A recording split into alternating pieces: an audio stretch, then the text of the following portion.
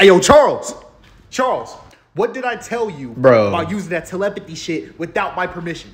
Bro, you was about to go kill some humans, man. I had to change your mind. So you're just not gonna respect my boundaries. Hey, man, you weren't wearing your helmet, so that's free game. What did I tell you what would happen next time you did that shit, bro? Bruh, chill, bruh. Charles. No, Give me the no. fucking wheelchair, Charles. Come on, Nah. Magnus, bro. You tripping. Nah. Give me my shit back, bro. Magnus, quit playing, bro. Give me back my wheelchair, man. Hey, I warned you, bro.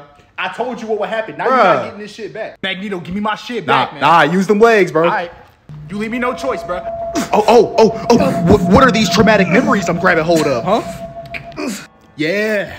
Yeah, Holocaust flashbacks, pussy. Yeah, yeah, you don't like that shit, you? Think about your childhood, Magnus. Yeah. Ugh, Make it stop, man. Give me my wheelchair back and it stops, bro. All right, bro. Here, just just take it, man.